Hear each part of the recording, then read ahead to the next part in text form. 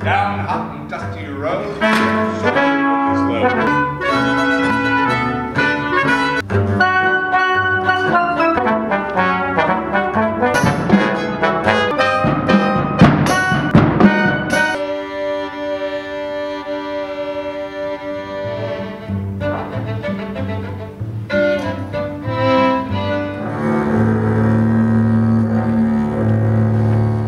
With the Heartland Festival Orchestra at the Gateway Building, where Igor Stravinsky's A Soldier's Tale will be performed Friday and Sunday afternoon.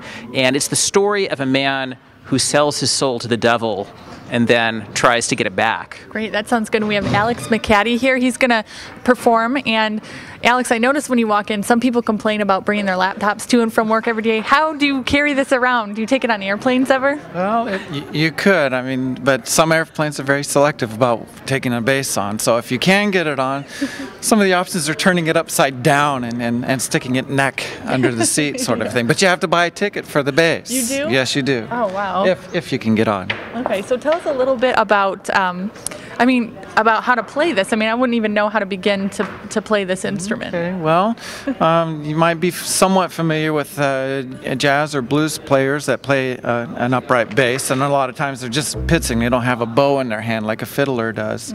Uh, but in this piece, in these pieces that we're doing, I, I both bow the bass like a fiddle or a violin, and um, as well as, as pits. And sometimes there's a combination. There's a waltz movement where I do a very unusual uh, bow pits.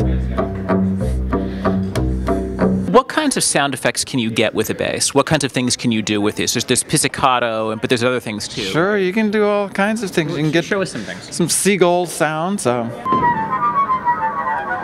won't hear that in this particular piece, but you get that. Um, you can get lower notes than that. You can retune the bass and, and have very, very low notes. You can go down to nothing if you wanted to. Which I've played a piece that's done that before. Can you get chords? It seems like it would be very difficult to hold chords on this. Uh, you can. It's you're not going to have the nice clarity of a guitar or, or a piano, obviously, but but you can do some chording.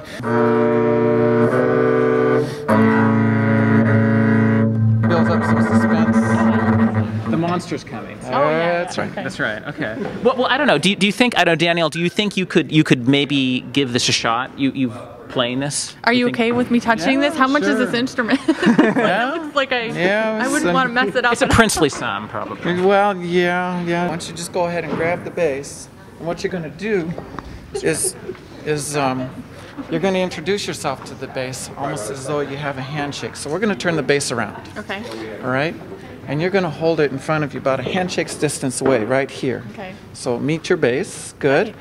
Good. Now you can turn the bass around and you're going to put the bass up against you so that this corner goes right here on the inside of your hip. That's right. So, so Oh, that's the four, pizzicato okay. right there. You got a kind of classical style, and that's perfectly fine. I want you all to relax, have a little fun. You know, we're not here to impress each other. okay. All right, let's get ready. Everyone, come on. There you go. It's beautiful F natural. Perfect. Can you Perfect. tell I, I have no musical uh, Sounds good. experience? Sounds good.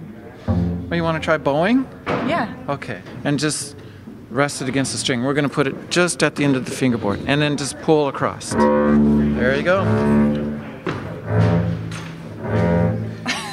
Wow. right. It's a lot of work. It, I mean, you make it look And- and easy, actually, but well, I've spent thousands of hours working on it.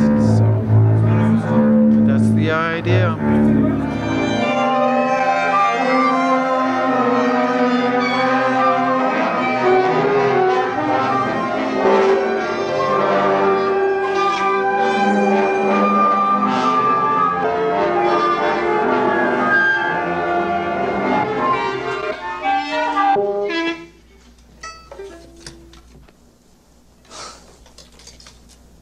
It was good.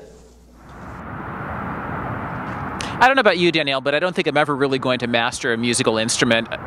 Period. I don't think I will either. Right. Uh, but there are lots of things going on uh, this weekend. There's Evita at Peoria Players, and that's the story of Eva Peron and her rise from humble beginnings to being the wife of uh, the dictator of Argentina. Okay. There, so there's no Madonna in this one, I imagine. No, there's no Madonna in this one. This is strictly a local effort, so.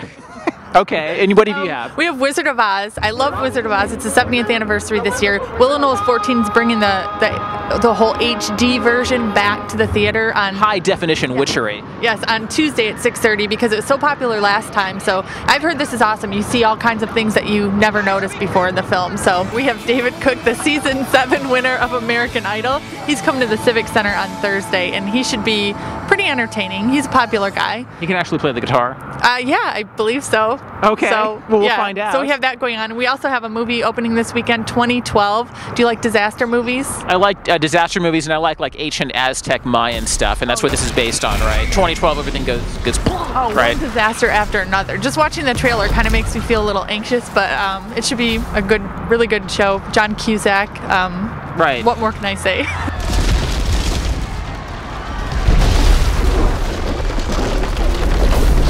So that's what's going on this week.